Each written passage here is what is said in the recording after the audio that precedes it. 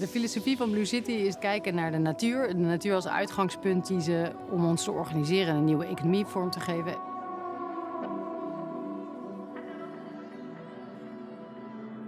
Ik hou me met name bezig met de grondstoffentransitie. En wat ik zie is dat we vooral bezig zijn met symptomen en de directe effecten van eh, klimaatverandering. En wat moeilijker grip krijgen nog op waar klimaatverandering in de producten zitten die we gebruiken en ons besef daarvan. Dus wat grondstoffen daarmee te maken hebben, waar die grondstoffen vandaan komen en hoe we dat verwerken in de dingen die we dagelijks gebruiken.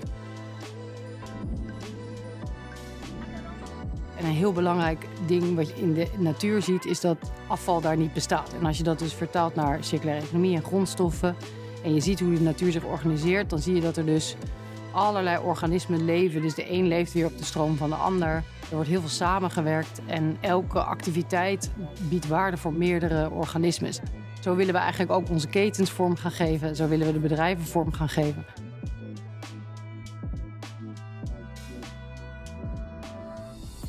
De circulariteit krijg je ook niet voor elkaar in je eentje. Daar heb je altijd een ketenpartner voor nodig. Er wordt een product gemaakt en iemand neemt het af. En vervolgens komt er een afvalverwerker die moet het ophalen en dan moet je het recyclen.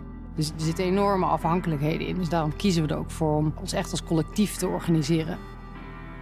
We hebben eigenlijk binnen de ondernemers in Blue City geen sectorale aanpak. Maar daardoor ontstaan er dus ook hele interessante samenwerkingen. Dus een mooiste voorbeeld vind ik iemand die uit de papier- en kartonindustrie komt en die ging samenwerken met de bierbrouwer. En daar is gewoon enorm veel kennis in die sector over hoe je zo uitstootvriendelijk en zo duurzaam eh, mogelijk opschaalt. En ik denk dat dat soort verbindingen, die onverwachte nieuwe verbindingen, die hebben we ook echt wel nodig als we zo'n nieuwe economie gaan inzetten. We worden heel vaak idealisten genoemd en ik denk dat we heel realistisch zijn. Als je gewoon kijkt dat die grondstoffen op zijn en de manier waarop we onze economie nu vormgeven, dat past helemaal niet. Terwijl je wordt een idealist gevonden als je zegt dat je denkt dat we andere dingen moeten gaan doen op dit gebied. Dus ik denk dat Blue City heel realistisch is. We hebben natuurlijk wel een idioot pand gekocht en dat hebben we bewust gedaan omdat we aandacht voor dat onderwerp wilden.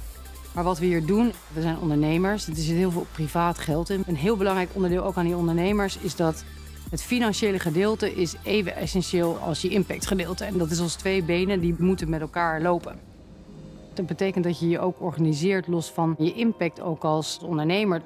Dat je zorgt dat je een product ontwikkelt. En dat is vaak niet perfect. Dat is niet een perfect duurzaam product. Als je dat wel wil, is het heel duur niet te betalen. Als je geen betalende klanten hebt, dan ben je ook niet schaalbaar en dan maak je geen impact. Dus die concessies doen, ik denk dat dat ook wel onderdeel is van ons pragmatisme.